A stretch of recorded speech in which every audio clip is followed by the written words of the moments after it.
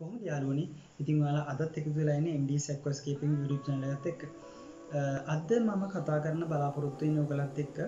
අපේ බිගිනර්ස් නැත්නම් plant tank ශේෂ්ත්‍රයට එන අලුත්ම යාළුවන්ට ඉතාමත් වැදගත් කාරණයක් ගැන. ඒ තමයි අපි ඉතාමත් පහසුවෙන් සහ ලේසියෙන් බිගිනස්ලට වගා කරන්න පුළුවන්.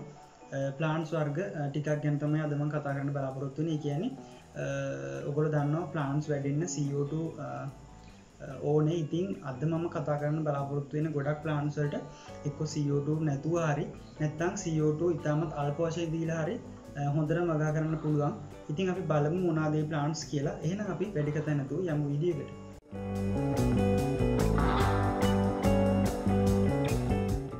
හරි. මම මුලින්ම කතා කරන්න බලාපොරොත්තුවෙන්නේ අපි ගොඩක් කට්ටේ දන්න ප්ලාන්ට එකක් ගැන. ඒ තමයි ඇමසන්ස්වෝට් ඇමසන් ස්පෝට් ගත්තොත් මේක එජිනඩෝරස් කියන සංකීර්ණ එක විද්‍යාත්ම නාමෙන් තමයි හඳුනන ඉති ලෝක පුරා එජිනඩෝරස් වගේ විශාල ප්‍රමාණයක් තියෙනවා. ඉතින් මේ ඉජිනඩෝරස් කියන කතාකරොත් ටැන්කී පිටු පස ප්‍රදේශය කියන්නේ බැක්ග්‍රවන්් ප්ලාන්ට් එකක් විදිර තමයි මේක සලකන්නේ. යකුම් තමයි මේක ටික විශාලව වැඩෙන ප්ලාන්ට් එක ඉතිං ඔගොල්ලන්ට මේක ගොඩක්ම දුරට යුදාගන්න සුදුසු ටැන්කේ පිටු පසර තමයි යගම විශේෂම කාරණය තමයි මේක අඩුවාලෝකට කියෙන ලෝලයිට් ප්ලාන්ට් එකක් හැටියට තමයි සලගන්න ඉති ඔගොලන්ට ලයිට් යෙදීමේ පහසුකම් අඩුන ගොලන්ට මේ ප්ලාන්ට එක දාගන්න පුළුව යගේම අනිත්කාරණය තමයි මේ ප්ලාන්ට් එක CO2 නැතුවත් සහ CO2 දීලත් අපිට හොඳර වගා කරන්න පුළුව ඉති මේ ප්ලාන්ට් එක තරමක් විශාල වැඩෙන් නිසා අපිට එකැන ලොකු ප්ලාන්ට ටෑන්කල්ට සහ පොකුණු වගේ අපි ජලද පරිසරවලට අපට යොදාගන්න පුළුවන්. ඉතාමත් අලංකාරවත්තු වැඩෙන ශාකය මේ ශාකය අපි බෝකරගැනීම ගත්තොත් මේ ශාකය ගොඩමි වගා කරද්දි පැමිණෙන මල් තියනොයි මල්වලින් අපිට නව පැල් පැල ලබා ගැනීම සිද්ධ කරන්න පුළුව මේක ප්ලාන්ට ටෑන් අපි කරනකොට ඉතාමත් ලස්සන ශාකය හරි. ඉහට මම කතා කරන්න බලාපොරොත්තුන්නේ ක්‍රිප්ටකොරයින් ෆැමිලියගේ ප්ලාන්සය ඉතින් ක්‍රිප්ටකොරයින් කියන්නෙත් මේ ඉගනොඩෝරස් වගේම පලල් පත්‍ර තියෙන ගැන්නේ පාදස්තේ ඉදන් ඉහලට පත්‍ර විහිදෙන හොඳ ෆැමිලි එකක්. ඉතින් ක්‍රිප්ටකොරයින් වෙන්ඩික් තමයි මම ඔගලන්ට මෙතනති නිර්දේශ කරන්නේ. එකන අපේ ආදුනිකයන්ට වගා කරන්න. මොකද මේ ශාකය ඉතාමත් පහසුවෙන් වගා කරන්න පුළුවන්. සහ නමුත් ක්‍රිප්ටකොරයින් කියන ෆැමිලික අනිශාකත් වගා කරන්න පුළුවන්. නමුත් මේ ශාකය ටිකක් ඉක්මනින් වැැවෙන නිසා මම මේ ශාකය ආධුනිකයන්ට කියනව. යගුම තමයි මේ ශාකය අපි උපස්තරයක සිටවන්නේ. එකෙන සබස්ට්‍රේට් එක සිදුවම සිද්ධ කරන්නේ. ඉති මේ ප්ලාන්ට් එක තරමක් කුඩා සහ රැලි සහිත අලංකාරවත් ප්ලාන්ට් එකක් නිසා ඔගලන්ට ඔගලන්ට ප්ලාන්ට ටෑන්ක එක ඉදිරිපට ඉදිරිපස කොට්ටසට සහ එකන්නේ ගලක් ආසන්නේ වගේ මේ ප්ලාන්ට එක තමත් අලංකාරවත් විදිට ඔගලන්ට යොදාගන්න පුළුව ඒවගේම මේ ප්ලාන්ට් එකට අවශ්‍ය ආලෝක තත්වය ගැන කතාකරොත් ඕනෑම ආලෝක තත්වයක මේ ප්ලාන්ට් එක තම හොඳට හැදෙනවා. ඉතින් ඔගොලන්ට වැඩි ආලෝකයක් ලබා දෙන්න පුළුවන්නම් තවත් හොඳට හැදෙනවා. ඉතින් අපේ ආධනුකය ගොඩක්ම කැමති ගොඩක් කලාවට අඩුවාලෝකය ලබාදිල තමයි පටන්ගන්න ගොඩක් කට ඉතින් අඩුවාලෝක ලබාදිල මේ ප්ලාන්ට් හදන්න පුළුවන්. යගේම CO2 රහිතව සහ CO2 ලබාදිලත් මේ ප්ලාන්ට් එක ඉතාම හොඳර හදන්න පුළුවන්. හරි. ඊලක ප්ලාන්ට විදිරම තෝරගෙන තින ස්ටම් ප්ලාන්ට් එකන්නේ පඳුරු ආකාරයට හැදෙන ප්ලාන්ට් එකක්. ඒ ප්ලාන්ට් එක තමයි රොටල ඉන්ඩිකා කියෙන් ඉතින් මේ ප්ලාන්ට් එක ලංකාව ගොඩක් ප්‍රසිද්ධ ප්ලාන්ට් එකක්. යගම තමයි ඒඩ වගේ ඇක්වරීම් කම්පැනි වලත් ගොල දැකලා තියෙන ඇති. ගොඩක් තුරට මේ ගොලු මේ ප්ලාන්ට් එක තමයි යොදාගන්නේ. ඉතිං මේ ප්ලාන්ට් එකත් ඉගෙන සබස්ට්‍රේට් උපස්තරයක සිදුවන ප්ලාන්ට් එක මේ ප්ලාන්ට් එක ගොඩබීම දීගන්නේ එමස් ආකාරයට වවන්න කොටනම් ශාකය ටිකක් ශාකය පත්‍ර වටපුරු ස්වභාවයක් ගන්න නමුත් අපි සබමස්ටේ ගැන ජලය යට මේවා වගා කරනකොට කොල පැහැති යගේම සිහින් වටකුරු දිගු පත්‍ර තමයි දැකගන්න පුළුවන් එම තමයි මේ ශාකයේ කඳ රතු පැහැයක් ගන්න ඉතිං ආලෝකය ගැන කතාකරොත් අපිට ඕනෑම ආලෝක තත්වයක මේ ප්ලාන්ට් එක වන්න පුළුවන්. ඒවගේම ගොලන්ට CO2 රහිතව මෙම CO2 සහිතවත් මේක බවන්න පුළුවන්. ඉතින් මමර කලින් කිව් වගේ CO2 දෙනවන වඩාත් හොඳයි. එතකොට ඔගොල්ලන්ට ඉතාමත් හොඳ පිරිපුන් ප්ලාන්ට් එකක් ලබාගන්න පුළුවන්. ඒගෙන මේ ප්ලාන්ට් එක ඉදනකොට ඔගොල්ලො බුෂ්කක් විදිරගෙන පඳුරක් විදියට ඉන්දුවත් වඩාත් හොඳයි. මොකද එතකොට ඔගලන් ලස්සන වර්ධනීමත් සමඟ තමත් අලංකාරවත් පඳුරක් ලබාගන්න පුළුවන් අපිට ඕන විදිහට එක ට්‍රිම් කල්ලා තමන්ට තමන්ගේ කැමැත්තන ඕන හැඩේකට ලබාගන්න පුළුව මේකත් ඉතාම අලංකාරවත් ශාකය හරි. මම ඉල්ලකට කතා කරන්නෙත් මේ රොටල ෆැමිලිකීම ශාකයක්මයි. ඉතින් ඒ තමයි රොටල රොටන්ඩොපීඩිය. ඉතින් මේ ශාකයත් රොටල ඉන්ඩිගාකින ශාකය හා සමානමයි. මේකතින් විශේෂත්වතුමයි මේ ශාකය ගොඩම වගා කරනකොට අපිට දිස්වෙන්නේ කොළ පැහැයක්. එකන්නේ පත්‍ර දිස්වෙන්නේ කොළ පැහැකි නමුත් අපි මේක ජලය තුලදී වගා කරනකොට හොඳ ආලෝකයක් සහ හොඳ සියෝටු සාන්ත්‍රණයක් ලබාදුන්නොත් ඔගලන්ට දැකගන්න පුළුවන් ඉතාමත් වර්ණවත් ඉතාමත් අලංකාරවත් රෝස් පැහැන් මේ ශාකය වර්ණ ගැන්නෙනවා. ඉතිං මේ විදිර අලංකාරොත් විදිර රෝස පැහැෙන් වර්ණ ගැන්නෙන්නේ තරමක් වැඩියාලෝකයක් දුන්නොත් තමයි සහ සියෝටු අවශ්‍ය ප්‍රමාණයට දුන්නොත් තමයි. නමුත් ඔගොලන්ට සියෝටු සහ අඩුවාලෝකයක් සියෝටු අඩුවෙන් සහ ලයිට් අඩුවෙන් ලබාදීම අගනුත් මේ ශාකය ඉතාමත් අලංකාරත් විදිර බවාගන්න පුළුවන්. නමුත් ඔගුල්ලු කැමතින අරවාගේ ඉතාමත් ලස්සන් රෝස පැහයක් ගන්න ඔලන්ට පුළුවන්. සියෝට සහ ලයිට් හොඳට ලබාදීල මේ ශාකය වග කරන. ඒවගේ මේකත් සබස්ට්‍රේට් එකනත උපස් උපස්තරයක සිටුවන ශාකය ඉතින් මේ ශාකය ඔලන්ට ටෑන්කේ පිටු පස ප්‍රදේශයට හෝ මැද ප්‍රදේශයට වන්න පුළුවන් ඉතාම තලංකරවත් ශාකය ඊළඟටත් මම කතා කරන්න බලාපොරොත්තුවෙන්නේ ස්ටෙම් ප්ලාන්් එකක් තමයි. මොකද අපිට ගොඩක්ම ලේසින් වා කරන්න පුළුවන් ස්ටෙම් ප්ලාන්ස් තමයි. ඉතින් මේ ස්ටෙම් ප්ලාන්් එක තමයි ග්‍රීන් හයිඩ්‍රෝ කියල කියෙන් එකනේ හයිඩ්‍රෝපිලා පොලිස්පර්ම කියන විද්‍යාත්ම නමේ හඳුන්නන ශාකය. ඉතින් මේ ශාකයට ලංකාව ගොඩක්ම ප්‍රසිද්ධ ශාකයක්. එයගින් තමයි මේ ප්ලාන්ට් එක අපිට ප්ලාන්ට ටැන්ගේ මැද කොටසර යොදාගන්න පුළුවන් ගොද ස්ටෙම් ප්ලාන්ට එකක් නිසා. බැක්ටවන් ප්ලාන්ටගේ ලොකුඩ දෙන්නේ යකුම් තමයි අපිට මේ ප්ලාන්ට් එක අඩුවාලෝක තත්ත්වයක් දීල සහ අඩු සියෝට සාන්ත්‍රනයක් දීල හෝ සියෝටු නැතුව වගා කරන්න පුළුව මාත් මුල්කාලෙදි මේ ප්ලාන්ට් එක වගා කරේ සියෝටු නැතුව. නමුත් සියෝටු ලබාදීමත් සමඟ පොඩි වෙනසක් වෙනවා. මේ ප්ලාන්ට් එකේ පත්වල උලන්ට තැක්කන්න පුළුවන් ලා රෝස පහැති පොඩි වර්ණයක් කෙනවා ඉත ඉතාම තරංකාරත් වර්ණයක්. ති සියෝටු ලබාදීමත් සමඟ තමයි මේක සිද්ධ වෙන්න. ඉතින් ගොල්ලො කැමති නම් ඔගලන්ට සියෝටු රහිත හෝ සියෝටු සහිත වගා කරන්න පුළුවන්. ඉතින් මම කලින් වීඩිය එකක් කර ඉමස්ට ඇක්වරිම් ප්ලාන් බොක්ස එකක් හදාගන්න හැටි. ඉතින් ඒකට යොදාගත්තෙත් මම මේ ප්ලාන්ට එකක් තුමයි එක කල්ච කරන්න දගත නියගේ ප්ලාන් පරගයක් එකක් යොදාගත්තා. ඔගලන්ට පුළුවන් ඒ වීඩිය එකක් ගීල බලන්න. ඉතින් මේකත් සබස්ප්‍රේට් එක සිටුවන ප්ලාන්ට් එකක්. මේකත් ආදුනිකයන්ට ඉතාමත් හොඳ ප්ලාන්ට් එක හරි ඒකටම කතා කරන බලාපොරොත්තුවෙනෙත් මේ හයිඩ්‍රපිලා ෆැමිලිකිම ශාගයක් ඒතමයි සංසෙට් හයිඩ්‍රනතම් හයිඩ්‍රපිලා පොලිස්පර්ම රොසානවී කියන ප්ලාන්ට් එක. මේකත් ඉතාමත් අලංකාරත් ප්ලාන්ට් එක මේකතින් විශේෂත්වය තමයි අරමං කලින් කිව්ව ග්‍රීන් හයිඩරු ප්ලාන්ට් එක වගේමයි. ඒකට සර්ව සමයි නමුත් පත්‍රවල කොල පැහැට අමතරව පත්‍රවල නාරටිවල වෙනම සුදු පැහැති ඉරිරි ඔගලන්ට දැකගන්න පුළුවන්. ඉතාම තරංකාරවත් ශාකයක්. ඉතින් මේ ශාකයක් සබස්ට්‍රේට් එක නැතම් උපස්තරයක සිටුවන් ශාකයක්. මේ ශාකය ඔගලන්ට ඉතාමත් අලංකාරත්ව වාගන්න ඕන්න මේ ශාකය නිරතුරුව කප්පාදු රිමත්තන් ක්‍රිම් කිරීම් කරන්න ඕන.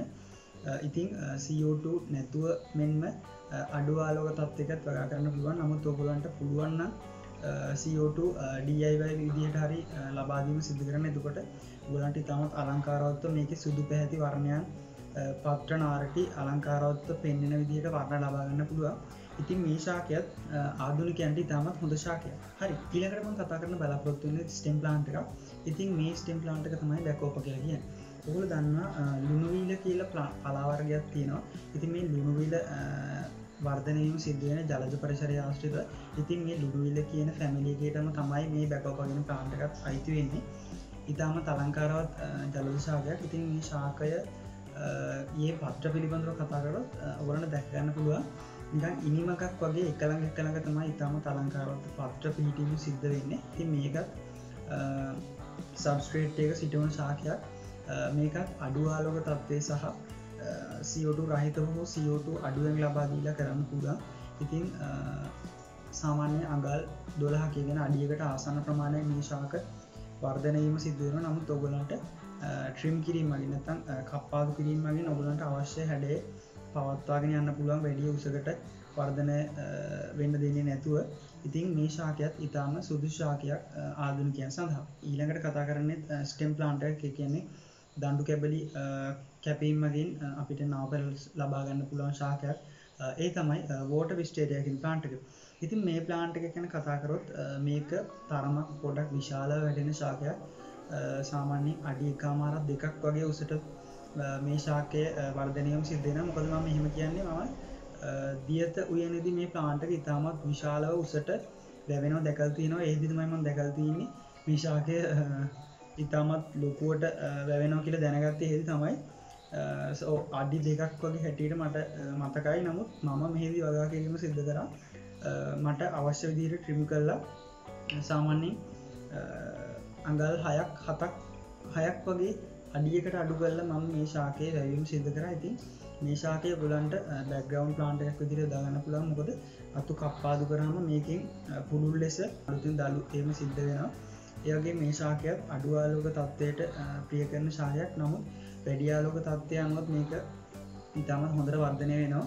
සහ මේකට සෝට රහිතව මෙන්න සෝට සහිතවත් වගා කිරීම සිද්ධ කරම් පුළුව මේකත් ආදුනිකයන්ට ඉතාම හොඳ ශාකයක්. හරි. ඊළඟට අපි කතා කරන බලාපොරොත්තු ස්ටම් ප්ලාන්ට එකක් ගැන තමයි ඒ තමයි පැරට් ෆෙදකින ප්ලාන්ට ඉතින් මේ පැරට් ෆෙදකින ප්ලාන්ටිකත් ඉතාම තරංකරවත් ශාකයක්. මොකද මේක පත්‍රි තමත් සිහිම තියෙනවා. මේක පත්‍ර නිකන් ගිරවපුගේ පිහාටුවක් හැඩේට තියෙන නිසා තමයි පැරට් ෆෙදය කියලා තියන්නේ. ඉතිං ඔගොලන්ට සමහර පැතිවල වෙල් කුඹුරු ආශ්‍රිතව මේ ශාකයක් ස්වභාහිකෝ වෙනවා දැකගන්න පුළුවන්සාමන් දැකල තියෙනවා. ඉතින් මේ ශාකයක් ආදුනිකයන්ට ඉතාමත් හොඳ ශාකයක් වගේම මේ ශාකය සබස්ට්‍රේට්නත උපස්තරයක සිටුවීම මගින් තමයි පැලවෙන්නේ. ඒවගේම අඩුවාලෝක තත්ත්වයක් සහ සියුටු සහිතව හෝ සියුටු රහිතව වගා කිරීම සිද්ධ කරන්න පුළුවන්. ඉතිං මේ ශාකයත් නිකං ගුෂ්ෂකක් වගේ වර්ධනය කරගත්තු උගලන්ට අලංකාරත් විදිහට මේ ශාකය අවශ්‍යදිය ට්‍රිම් කරලා ලස්සන හැඩේකට හදාගන්න පුළුව හරි. ඊළඟට මම කතා කරන බලාපොත්තුවෙන්නේ ප්ලාන්ට ටැන්කල්ට ටිකක් අඩුවෙන් පාවිච්චි කරන ප්ලාන්ට එකක්. ඒ තමයි හොන්වර්ට් කියෙන් ප්ලාන්ට ඉතිං මේ ප්ලාන්ට් එක කූන්ටේල් කියලත් හඳුනනෝ කියලා අන්තර්ජාලය තිබ්බ. ඉතිං එහෙම කියන්න හේතුව තමයි ඒ ප්ලාන්ට් එක අලුතෙන් දවරන ප්‍රදේශයේ ඉදිරිපස ප්‍රදේශය පැත්තෙන් බැලුවත් නිකම් වලිගයක් ආකාරයට තමයි අපට දිස්වෙන්නේ ඉතින් මේ ප්ලාන්ටක් ගැන කිවල් මේ ප්ලාන්ට එක සබස්ක්‍රේට්යක හිටව්වට ටිකක් උඩට පාවෙලාන්න ගතියක් තියෙනවා. එනිසාතමයි මං හිතන්නේ මේ ප්ලාන්ට් එක ප්ලාන්ට ටැන්ගලට අඩුවෙන් උදාගන්න යවුතුමයි මේක පාවීම සිද්ධ වෙන නිසා තරමක් ආලෝකය අඩුවෙන් ටැන්කියට ලැබීම. ගැන ටැන්කි පතුරට ආලෝකය අඩුවෙන් ලැබීම සිද්ධ වෙන නිසා මේ ශාකය තරම කඩුවෙන් යොදාගන්නවා කියලා හිතන යගින් තමයි වැදගත් කාරණ තමයි මේ ශාකය. අපි සුරතල් මසුන් අභිජනනයේදී අලුතෙන් මසුන් පැටවුන් දැම්මම මසුන්ගේ ආරක්ෂාවටත් මේ ශාකය යොදාගැනීම සිද්ධ කරන ඉතින් මේ ශාකයක් ඉතාම අලංකාරවත් ශාකයක්. උගොල කැමති නම් මේ ශාකයක් උගලගේ ප්ලාන්ට ටෑන්කර දාගන්න පුළුව ඉළකට මං කතා කරන්න බලාපොරොත්තුවෙන අපි ප්ලාන්ට ටෑන් කරන හැමෝගම් පිස්සුවක් වන අනුභ්‍යාස්කින් ප්ලාන්ටක් ගැන්. ඉතින් මේ අනුවියස්කිල් ප්ලාන්ට් එක ගැන කතාකරොත් දවසමුණත් කතා කරන්න පුළුවන්. ඒ තරම් විචිත්‍රවත් ඒ තරම් විවිධත්වයක්තින් ප්ලාන්ට් එක උදාහරණ දිරකිවොත් අනුභ්‍යාස් නානා එතකොට. අම්භ්‍යස් බාටරි අනුභ්‍යස් කොපි පෝලිය වගේ ඉතාම විශාල අනුභ්‍යස්තෝගයක් තියෙනවා මේ සැමදික තුළ. ඉතිං මම ඔපලාන්ට නිර්දේශ කරන්නේ අනුභ්‍යස් නානා කියන කුඩා පත්තිතින ශාකය වගා කරන්න කියලා. මොකද මේ ශාකය තරමක් වගා කරන්න පහසුයි. නමුත් මේ ශාකය තියෙන විශේෂත්වය තමයි තරමක් සිමින් තමයි වර්ධනයවීම සිද්ධ වෙන්නේ. ඉතිං මේ ශාකයට අත්‍යවශ්‍ය සාධක දුන්න තොගලන්ට තරමක් ලේසින් ගවන්න පුළුවන් සහ වර්ධනය වේගවත් කරන පුළුවන්. නමුත් මේ ශාකය තියෙන විශේෂත්වය තම මේ ශාකය සබස්ට්‍රේට් නැතම් බිම සිටුවීම කරන්න බෑ. යොගෙන් වැලිවල සිටීමත් කරන්න බෑ.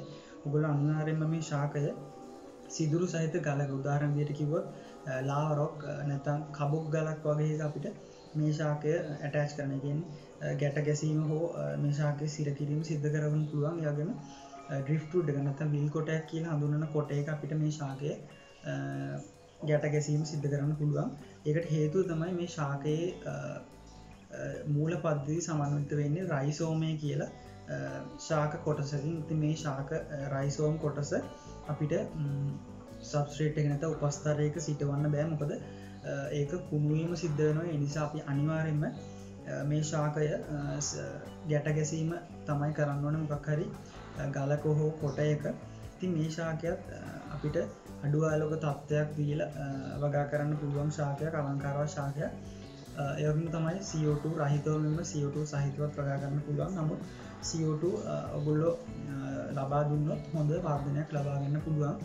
මේ ශාකයත් ආදුනිකයන් සඳහා ඉතාමත් හොඳ ශාකය ඊලකරම කතා කරන බලාපොරොත්තින මේ අනුව්‍යාස වගේම ගලකහරි නැත්තම් කොටේකරි ඇටැච් කරලා අපි රෝපනජිටම සිද්ධ කරන්න ප්ලාන්ටාර්ගයක් ගැන ඒත්මයි ෆර්න් සර්ග ඉතින් ෆර්න් සර්ගෙන කතාරොත් ෆර්න් සරයිටස් ගොඩක් තියෙනවා.